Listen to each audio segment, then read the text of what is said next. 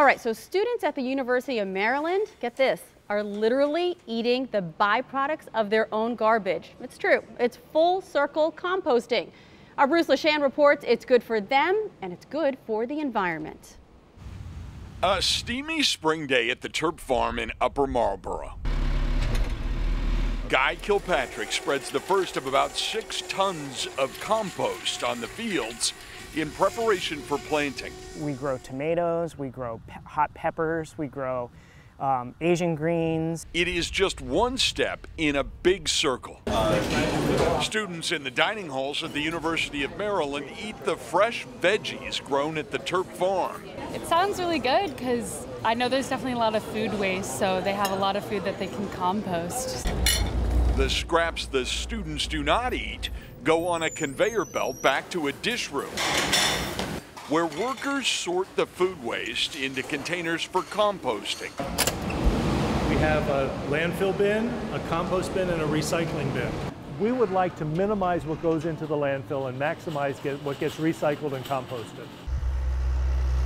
Crews truck the garbage to the Prince George's County Organics Compost Facility the largest on the East Coast, where it is pushed into piles and in less than eight weeks turned into a rich soil amendment that's great for growing vegetables. These kids are eating the garbage that they threw away a year ago.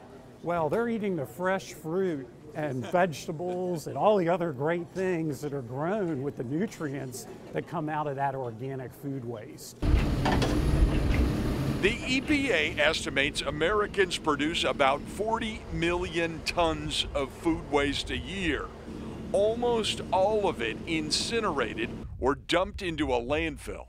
This big circle is one way to turn that around.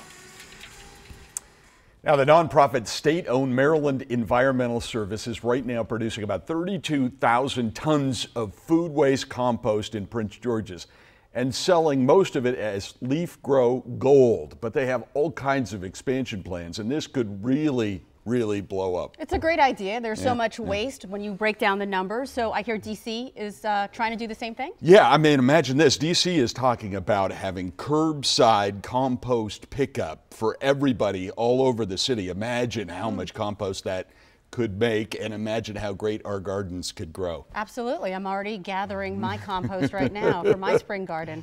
All right, good job. Good